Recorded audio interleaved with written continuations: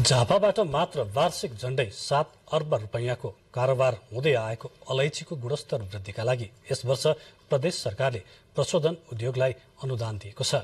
अलैँची संकलन केन्द्र सञ्चालन गर्दै आएका वीरता मोडका युवालाई पचास लाख रुपियाँको अनुदान कार्यक्रम कोशी प्रदेश सरकारले उपलब्ध गराएको हो। भारतीय बजारको आधारमा मूल्य निर्धारण हुँदै आएको अलैँचीको गुणस्तर वृद्धिमा जोड दिन थालिएको छ।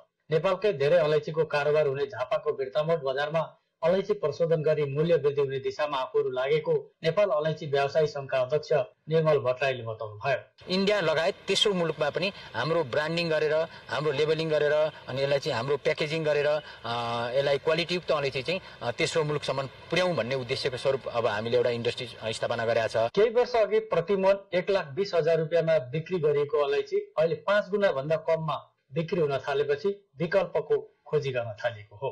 अलैँचीको गुणस्तर वृद्धि र बजारको माग अनुसारको अलैँचीका वस्तु उत्पादन गर्न यस वर्ष प्रदेश सरकार मार्फत अनुदानको कार्यक्रम सञ्चालनमा ल्याइएको कृषि ज्ञान केन्द्र झापाका बागवानी विकास अधिकृत अङ्कित भट्टराईले बताउनु भयो अलैँची प्रशोधन गर्न आवश्यक पर्ने विभिन्न मेसिनरीहरू उपकरणहरू र पूर्वाधारहरू चाहिँ स्थापना गरी यस क्षेत्रको बजारलाई चाहिँ स्ट्रङ गर्ने तरिकाले चाहिँ यो कार्यक्रम आएको छ। नेपालमा उत्पादन भएको अलैँचीको मुख्य बजार भारत हो। मसलाजन्य कृषि उत्पादनमा पर्ने अलैँचीको विभिन्न परिकार तयार गरी नेपालमै खपत गराउनका लागि सरकारको पचास प्रतिशत अनुदानमा झण्डै एक करोड लगानीमा यो वर्ष प्रशोधन उद्योग सञ्चालनको प्रक्रिया थालेको केन्द्रले जानकारी दिएको छ।